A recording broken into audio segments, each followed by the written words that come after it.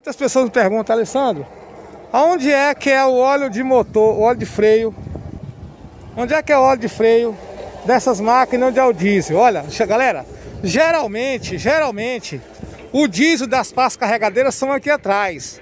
Mas essa marca aqui, ó, SDLG, SDLG, o, o óleo de freio está aqui no lugar do diesel, ó.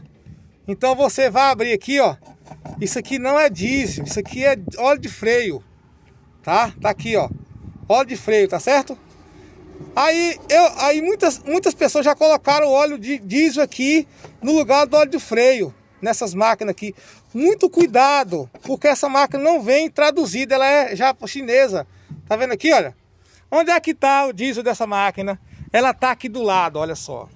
Então, essa marca SDLG, o diesel é aqui do lado e não lá atrás. Mais uma dica da DIM Profissões.